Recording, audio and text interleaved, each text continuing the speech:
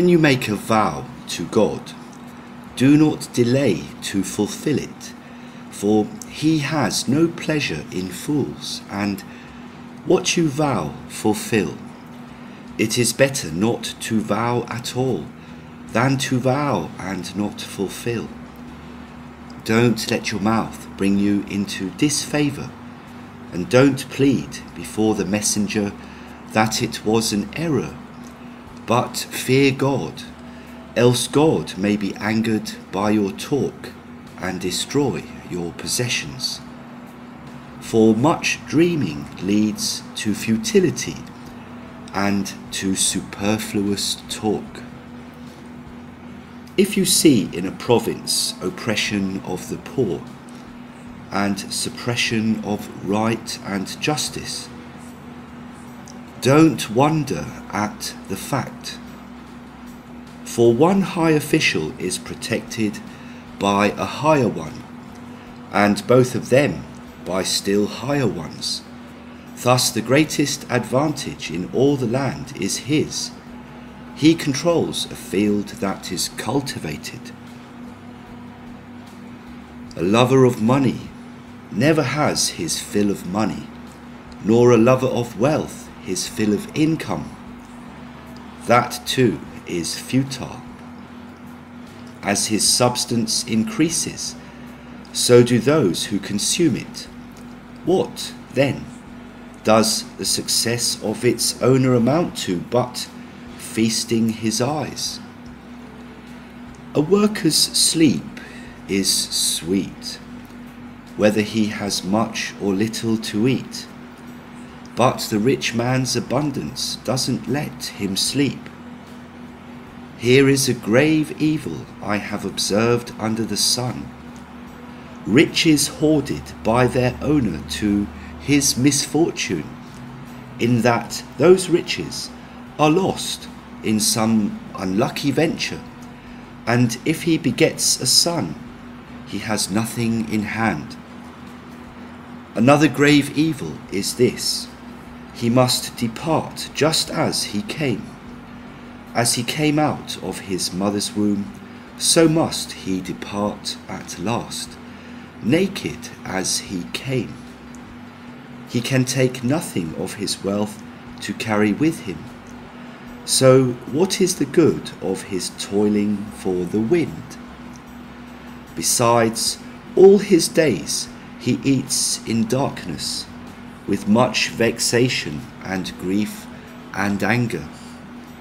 Only this I have found is a real good that one should eat and drink and get pleasure with all the gains he makes under the sun during the numbered days of the life that God has given him, for that is his portion. Also, whenever a man is given riches and property by God, and is also permitted by him to enjoy them and to take his portion and get pleasure for his gains, that is a gift of God. For such a man will not brood much over the days of his life because God keeps him busy enjoying himself.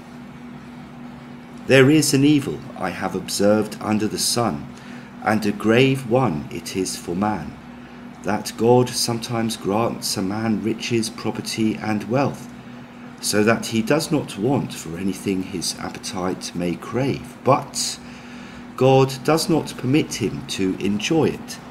Instead, a stranger will enjoy it. That is futility and a grievous ill. Even if a man should beget a hundred children and live many years, no matter how many the days of his years may come to, if his gullet is not sated through his wealth, I say the stillbirth though it was not even accorded a burial, is more fortunate than he. Though it comes into futility and departs into darkness, and its very name is covered with darkness, though it has never seen or experienced the sun, it is better off than he, yes, even if the other lived a thousand years twice over, but never had his fill of enjoyment. For are not both of them bound for the same place? All of man's earning is for the sake of his mouth, yet his gullet is not sated. What advantage then has the wise man over the fool? What advantage has the pauper who knows how to get on in life? Is the feasting of the eyes more important than the pursuit of desire? That too is futility and pursuit of wind. Whatever happens, it was designated long ago, and it was known that it would happen. As for man, he cannot contend with what is stronger than he. Often much talk means futility. How does it benefit a man? Who can possibly know what is best for a man to do in life? The few days of his fleeting life. For who can tell him what the future holds for him under the sun?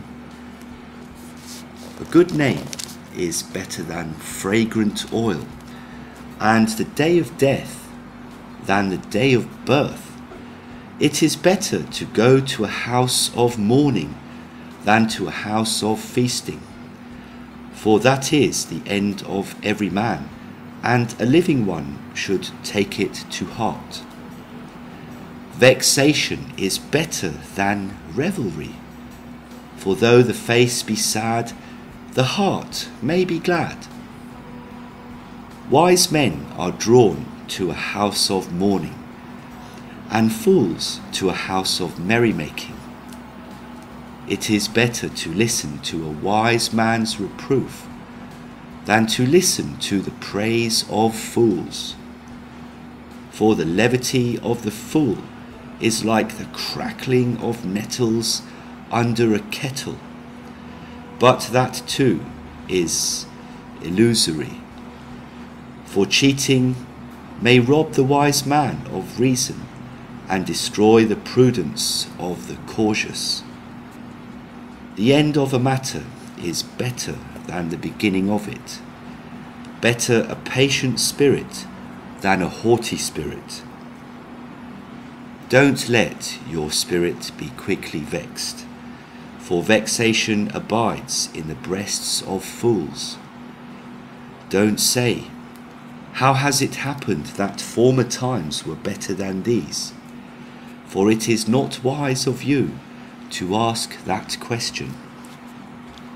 Wisdom is as good as patrimony, and even better for those who behold the sun. For to be in the shelter of wisdom is to be also in the shelter of money. And the advantage of intelligence is that wisdom preserves the life of him who possesses it. Consider God's doing. Who can straighten what he has twisted? So, in a time of good fortune, enjoy the good fortune, and in a time of misfortune, reflect. The one no less than the other was God's doing. Consequently, man may find no fault with him.